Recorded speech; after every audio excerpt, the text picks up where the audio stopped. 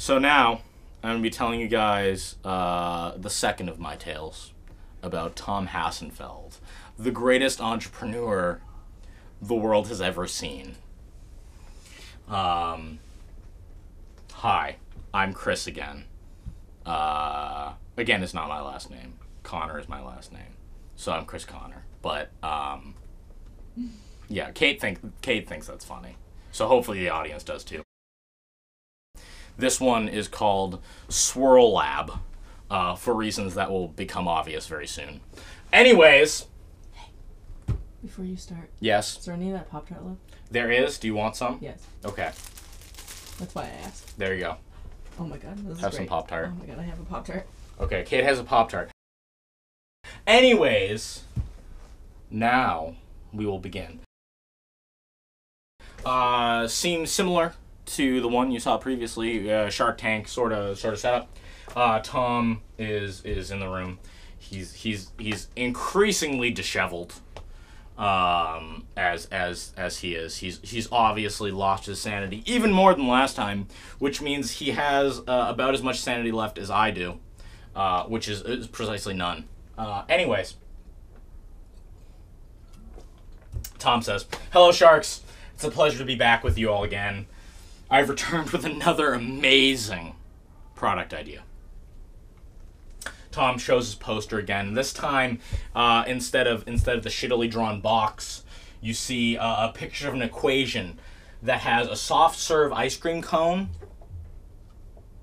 uh, swirl flavored, uh, chocolate swirl, uh, added to the picture of a dog, uh, and then finally an equal sign. He just says profit in big letters. Uh, Tom goes Swirl Labs. You know how they have chocolate labs and yellow labs? This one would be a combination of those two types of dogs, and it would be a chocolate swirl lab. Another amazing idea, obviously. Um, Tom. Tom's great. Anyways, uh, you know, Tom, Tom's, Tom, Tom starts talking about how everyone loves chocolate swirl ice cream.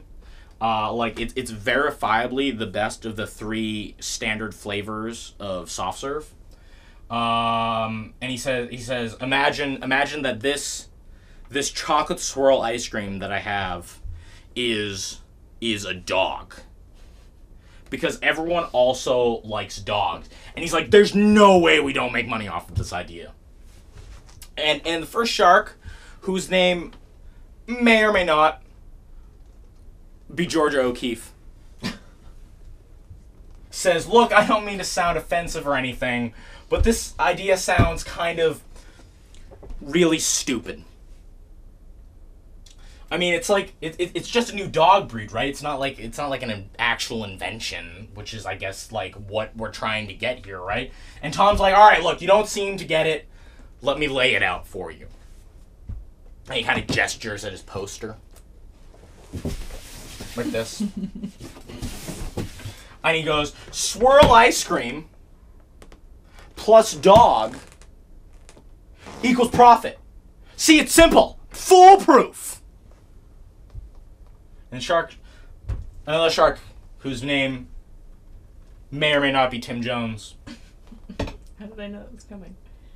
Hey, I love Tim Jones. I'm president of the Tim Jones fan club. I thought, oh, can I be vice president? I think that position's already been filled. I'm not. I'm not entirely sure though. Anyways, getting back to the story, uh, Shark Two, uh, Tim Jones, maybe, says, um, yeah, I, I don't think this idea is gonna work so well. Um, is it even possible to get their coats looking like that? I mean, I'm pretty sure that's not how breeding works. I'm an electrical engineer. I don't know. Um, uh, biology. Uh, Tom goes, look, no, it's it, it. Look, it's it's fine. It's gonna be fine. Listen, I'm gonna tell you about how this idea is gonna work. Uh, number one, first point: dogs, dogs, doges, doggos are super cute and awesome. So first point in this idea's favor. Number two, everyone likes ice cream. Even people with dairy allergies who can't eat ice cream wish they could eat ice cream because ice cream is awesome. And surely there must be a demand for a dog that looks like an ice cream. It's just logical. Also, number point number three, point three.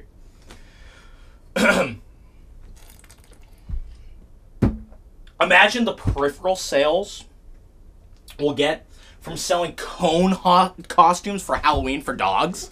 Like, like imagine like a dog with like a cone just on its butt, and it looks like a chocolate swirl ice cream with a cone on its butt. I would buy one. You would buy. one. If you're honest with yourself, you would buy one too. Who wouldn't want that? No, no, honestly. Uh, fourth point. Fourth point. Fourth point. We can make dogs in like different sizes and then market them as ice cream size. Like you could have a kitty cone size, and then and then you could all go all the way up to like a giant, fucking gigantic dog, like fucking huge dog, and call it a waffle cone size dog. Right, right. This this product sells itself. the marketing material writes itself. And and, and, and, and, and Shark One, whose name I think I said with Georgia O'Keefe is probably Georgia O'Keefe. I let's let's be honest. Uh, it says it says says Tom. I I think maybe. I think maybe you've been hitting the the old the old liquor a little hard, and maybe you should lay off. I burped. Um. And you know what? You know what Tom says? Tom, Tom, once again, gets right up, right up in the shark's face, and he goes,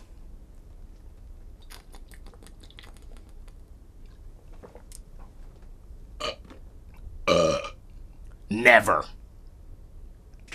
And that's it. That's the filming. That's it. That's it. I'm just gonna. I finished my beer. I did it. We did it. We filmed Drunk Kilroy.